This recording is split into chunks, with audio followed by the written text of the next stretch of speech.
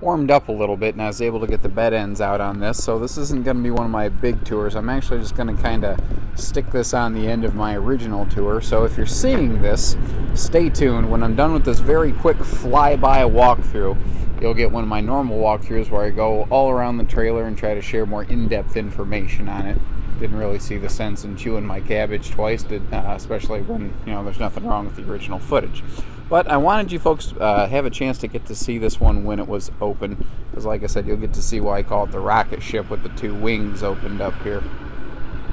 This also give us a better look at the canvas section of the bed tents and everything. Everything looks pretty darn good there. I do see a couple spots where it is patched, so I am glad that we got this open for you.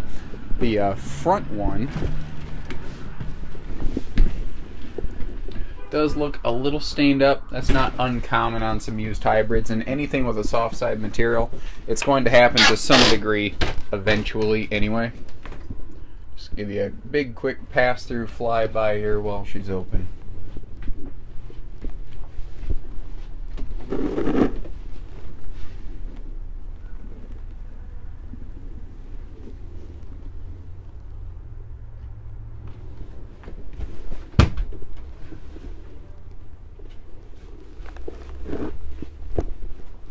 This is where it makes a big difference back here having these beds open. It just makes the trailer feel well it's basically as wide as it is long back in this section.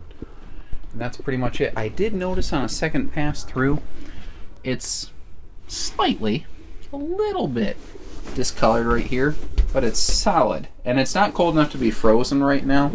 So I don't know if that's just from floor cleansers or if just maybe when people step out of the shower they drip on the floor a little bit. Either way, um, it's it looks a little discolored, but it's obviously not molded and it's not um, delaminated or anything, so it's just cosmetic. But hey, figured I'd point it out while I looked at it. Take care, stay safe, happy camping. Again, stay tuned for one of my full informational walkthrough tours. Thanks, guys.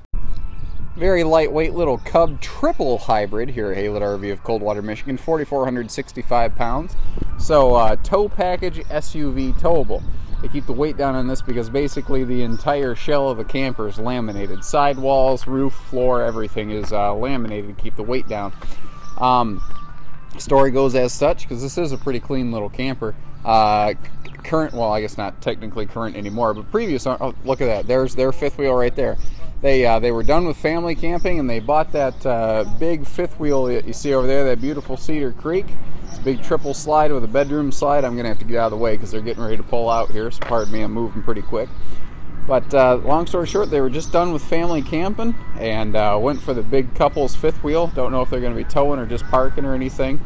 Um, hey, Scott, they need their license plate. Okay. Yeah, I'm just making sure they didn't lose their license plate. In Michigan, we throw them away. In a lot of states, you keep them and you renew them. We have non-renewable plates in Michigan for those out of state curious as to why I'm shouting for that guy. Look at that. So, like I said, traded in the uh, couple's coach for the big fifth wheel. Um, they have uh, roof vent covers over your roof vents so you can leave those open in the rain. It is chilly this morning. That's why I don't have the hybrid beds out. The material can't relax properly. And I don't want to overstretch it and tear it because then, you know, you probably wouldn't want this fifth wheel and I wouldn't, or pardon me, trailer, and I wouldn't uh, blame you. Comes up on the off chance this thing still is here, we will uh, reshoot some footage with her open, though I doubt it's going to last that long. Especially a clean one like this. If I put the phrase used in there with the word hybrid, gone. That's all it takes. So we've got a sofa slide over here to give us some nice walking space in between. Pardon the uh, cushions. Again, those are the that's the front bed bunk right there. Um, I uh, just don't have a good place to store it while the uh, beds are in. But look at your upholsteries and everything. Very, very clean. There's nothing to be afraid of anywhere whatsoever on this trailer. It is in great shape. Everything's in good working order. Here in the uh, living area, they have a, a, bigger fan. In the bathroom, they have a little smaller fan. But again, both fans uh, do have those roof vent covers on them. I love the lighter wood tones and lighter wall paneling in here. It makes a small trailer look not so small. Full size fridge, which is nice because a lot of smaller hybrids do have a little 5 cubic foot small fridge. Uh, whereas this one does have the full-size fridge.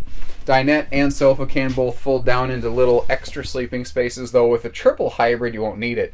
We've had this model in stock before. I call it the spaceship because when it's opened up, you've got a front hybrid bed and then two side ones like wings, and this thing looks like a rocket getting ready to take off in outer space. It's pretty cool. This is a, uh, a big floor to ceiling type closet, so you've got lots of good storage space right there. Um, again, hybrid bed on this side, hybrid bed on this side. When she's open, it is just wide open in here. Um, the extra little stand here is a nice touch too because you can have a, a, little TV station on the back wall, though you can see that they never screwed anything into the wall. They never had one put in here. The extra mirror, again, just for extra light reflecting around to make it look nice and bright in here. Give you a quick peek at the bathroom, and we're just about done. Short and sweet, and that's all it really takes on this one. Um, 800 256 5196, Haylett RV of Coldwater, Michigan. Thank you, everybody. Take care, stay safe, happy camp, and have some fun.